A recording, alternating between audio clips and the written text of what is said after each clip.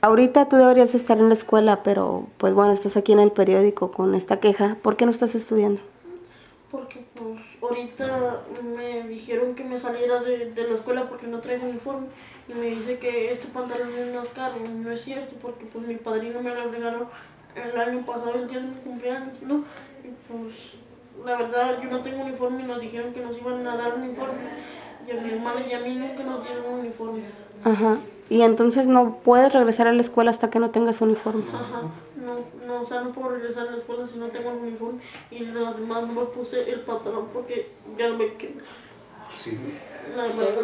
Y, y me queda el pantalón por acá. ¿no? Te queda chico.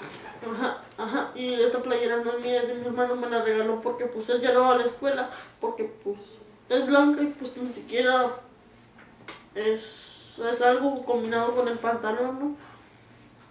Y hágale como quiera. ¿Y tú quieres regresar a la escuela? Pues sí. La verdad sí quiero.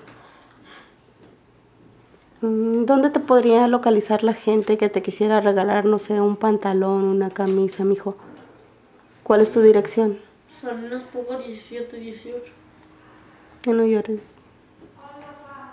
Vas a ver que la gente te va a ayudar.